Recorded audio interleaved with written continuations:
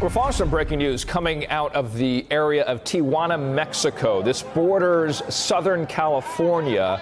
This, as the news has come out about whether or not an asylum deal has been made with Mexico. These pictures you see here from moments ago, Hans Nichols there with this group. And Hans, we were just getting off the air, and then this happened, which you saw and you witnessed, and you, you saw them begin to move. Where were they moving to, and why with such energy?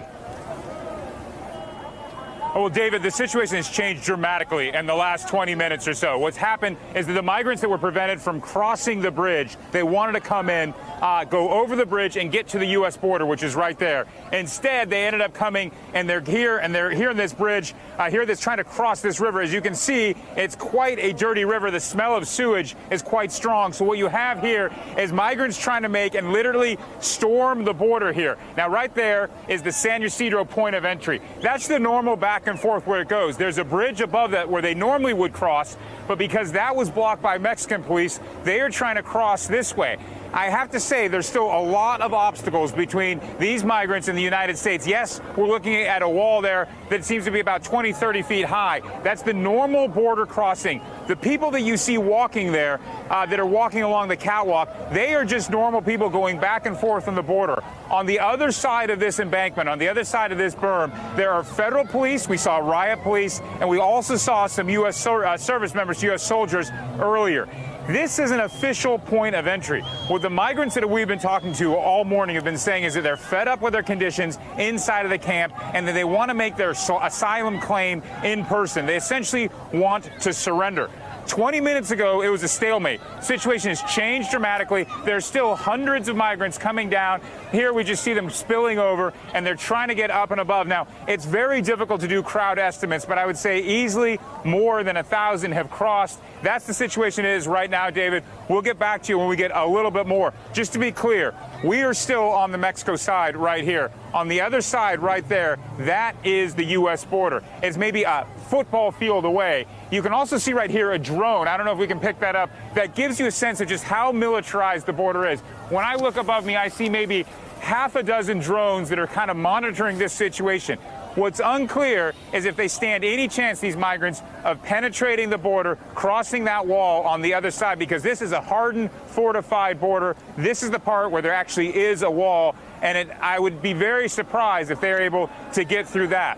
What this move will do, David, is will bring attention to what's happening here, and that is you have more than 5,000 migrants in a camp. They could no longer tolerate their, their, conditions, and they're trying to get across the border and make those asylum claims in person. David? Uh, so, Hans, uh, as the reporting has been, and please correct me if I'm off here, that they are processing only, what, about 100 asylum applications a day. This and the tension, you were showing me earlier yeah. some of the Mexican police. There's also the, the forces that are on the other side on the U.S. border border. How are they going to mitigate this, uh, if, if you will, escalating into potential altercations? Because that's the concern.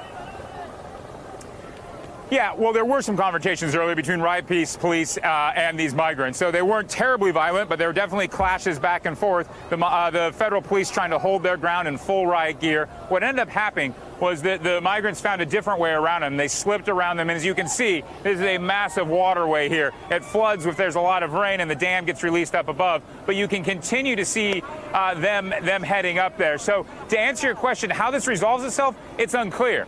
One possibility is that the 5,000 migrants that were inside the camp make it to basically the base of the San Ysidro point of entry. That happened a few months ago, and that put pressure on the U.S. government to process those asylum claims faster.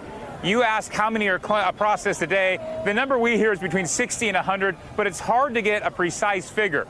What the Trump administration wants to do is process all of those asylum claims inside of Mexico. If that's what they, if that ends up being what the ultimate deal is on December 1, that means these guys have only five days to make their claims in person on U.S. soil. Richard? Hans, you've been there. Uh, give us a sense of the migrants themselves. Are, are we seeing uh, many uh, uh mothers and children, uh, men versus women, old yeah. versus young? And, and, and what's the state of, of them right now? Are they, are they clean? Are they able to get uh, the well, services they need?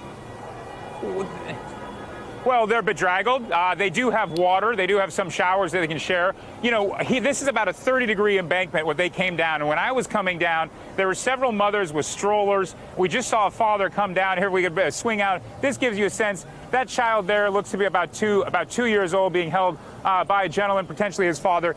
It's very hard. And then up here we have some more strollers coming down. It's really hard to do a full census Yeah. of just what the makeup of these migrants are. How- you do how- how see is a lot san- of children. You also see a lot of men. Yeah. And, and, and Hans, what's the sanitation level? Because that's that, that would be a question, right? As they are moving so many hundreds of miles now, they've been out uh, uh, move, moving north for so many weeks.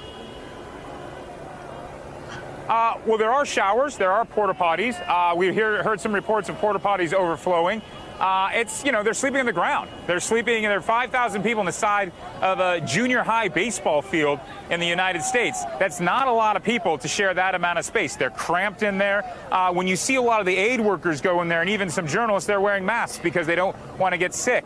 Uh, but in general, they do have they they have they, there is the opportunity to get meals. Sometimes they're charged, sometimes they're given away, and there is running water. But I have to say, now it looks like most of these guys, eh, the, the flow has slowed down here. But what these guys are following, they're basically going over an open sewer here. The stench from this river is pretty overpowering, and they're walking over. We've seen some people slip in the sludge here on their way in. They're going over this and trying to get uh, trying to get up there. So to answer your question, uh, yes, they do have they, they do have access to showers, but 5,000 people living in that close quarters, uh, there are bound to be some sanitation issues. Richard. Yeah, so well described. Uh, great to have you there. NBC's Hans Nichols there in Tijuana, Mexico, following this breaking story now as we see the movement right behind him of some of the migrants going towards the U.S. Mexico border. Hey there, I'm Chris Hayes from MSNBC. Thanks for watching MSNBC on YouTube. If you want to keep up to date with the videos we're putting out, you can click subscribe just below me or click over on this list to see lots of other great videos.